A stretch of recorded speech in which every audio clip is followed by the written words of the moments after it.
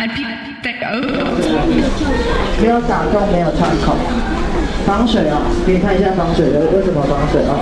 这个杯子是裂成两半的啊，可以看一下里面都有裂痕啊，可以看一下两半的，可以看一下外面是不是两半的，它不会滴水，不会漏水啊，这只是用胶水粘起来而已，百分之百防水啊，什么材质都可以连接，像大理石啊，互相连接也可以，多多粘就是真的这么粘，啊，就是真的这么粘。啊，不同材质之间也可以做连接，石头、皮带啊，这样就粘住了。花瓶可以粘啊，整片破的花瓶啊，把它粘起来的。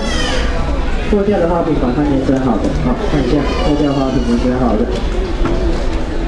挂钩可以粘啊，不同材质可以做连接啊，不不管什么材质啊，鞋子最重要是鞋子啊，鞋子真的是经常开花。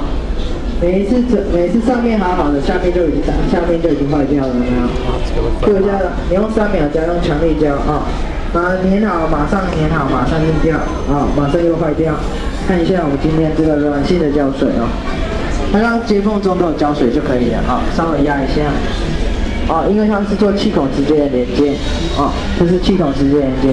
你用三秒胶强力胶，上面的残胶是不是应该就硬掉了？就已经就已经硬掉干掉。